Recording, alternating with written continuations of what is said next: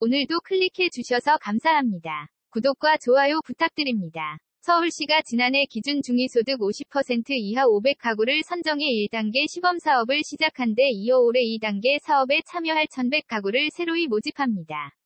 안심소득은 소득이 적을수록 더 많이 지원하는 하우상박형 미래복지제도로 오세훈 시장 1호 공약인 취약계층 4대 정책의 핵심 사업입니다. 재산의 소득 환산, 부양의무자 및 근로능력 유무 입증 등 기존 복지제도의 까다로운 선정 절차를 간소화하고 지원 대상 범위와 소득 보장 수준을 확대하여 복지수의 사각지대에 놓여 있는 취약계층을 폭넓게 포용할 수 있습니다. 안심소득 시범사업은 새로운 복지정책 도입의 타당성과 효과성을 검증하기 위한 정책 실험의 성격을 갖고 있습니다. 서울시는 1단계 사업 대비 지원 대상 가구 폭을 넓혀 기준 중위소득 85% 이하 가구까지 확대 지원합니다. 지원 대상 범위를 확대함으로써 그간 복지 수혜에서 소외된 기준 중위소득 50% 초과 85% 이하 가구도 새로운 복지 수혜층으로 포용합니다. 모집 규모도 당초 계획보다 지원 가구 수를 기존 800가구에서 2배 확대한 1600가구 대상으로 시범 사업을 추진한다고 밝혔습니다. 사업 공고일 1월 9일 기준으로 주민등록상, 서울시에 거주하면서 소득과 재산 기준을 동시에 충족하는 가구라면 누구나 접수할 수 있습니다. 가구 소득이 가구별 기준 중위소득 85% 이하이면서 재산이 3억 2,600만 원 이하인 가구가 대상입니다. 다만, 안심소득 시범사업은 안심소득 효과를 연구하는 정책 실험으로 신청 가구 중에서 최종 지원 가구를 무작위 선정함으로 소득 재산 기준이 충족하더라도 모두가 지원 대상이 되지는 않습니다. 참여를 원하는 가구는 1월 25일부터 2월 10일까지 17일간 서울복지 포털 누리집을 통해 온라인으로 신청할 수 있습니다. 온라인 접수 시스템은 1월 25일 수요일부터 2월 10일 금요일 오전 9시부터 오후 6시까지 운영합니다. 모집 기간 첫 4일간 1월 25일부터 1월 28일은 시스템 과부하 방지를 위해 출생연도 끝자리 기준 홀짝제로 운영하며 그 이후부터는 자유롭게 접수할 수 있다. 공휴일 야간에도 접속하여 참여 가능하며 안심소득 상담 전용 콜센터 1668-1735를 운영하여 참여 방법 안내 등 온라인 접수를 지원합니다. 온라인 접수가 어려운 가구를 위해 모집 기간 마지막 5일간 2월 6일부터 2월 10일은 별도로 안심소득 접수 콜센터 1668-1736도 운영합니다. 콜센터는 2월 6일 월요일부터 2월 10일 금요일 5일 간 점심시간 오후 12시부터 1시를 제외하고 오전 9시부터 오후 6시까지 이용 가능합니다. 서울시는 참여 가구의 가구 규모, 가구주 연령을 고려하여 통계학에 기반하여 세 차례에 걸친 무작위 추출 방식으로 지원 집단 1100 가구를 선정합니다.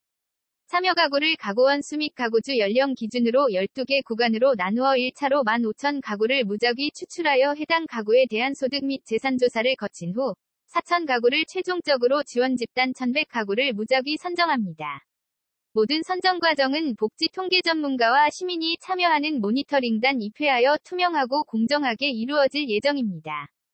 최종 선정된 1100가구는 중위소득 85% 기준액과 가구소득 간 차액의 절반을 매월 2년간 지원받습니다.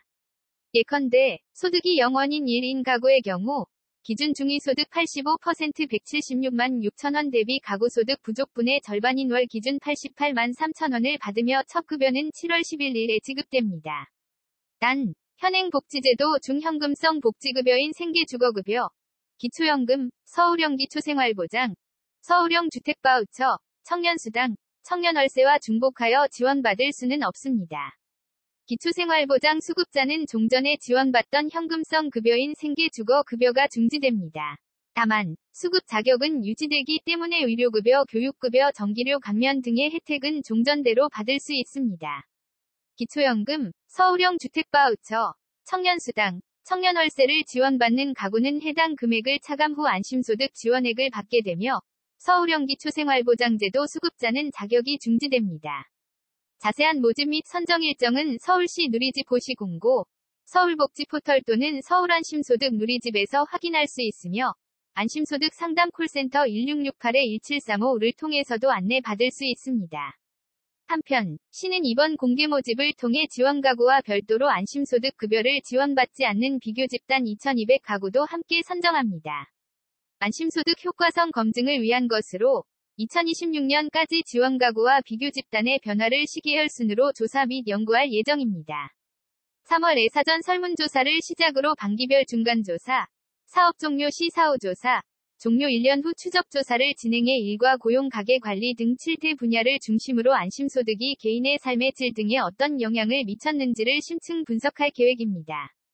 비교 집단은 안심소득 급여는 지급되지 않지만 설문조사 응답 시 소정의 사례금을 제공할 예정입니다. 김상한 서울시 복지정책실장은 4차 산업혁명 일자리 구조 변화, 코로나19 팬데믹 등의 영향으로 빈부격차가 더욱 심화되고 사각지대의 틈이 넓어지고 있는 심각한 상황으로 새로운 복지 해법에 대한 고민 없이는 대한민국의 미래는 어두울 수밖에 없다. 며 소외되는 사람 없이 누구나 희망찬 미래를 위한 서울시의 도전에 시민 여러분께서 관심을 가지고 많이 참여해 주시기를 바란다. 고 말했습니다.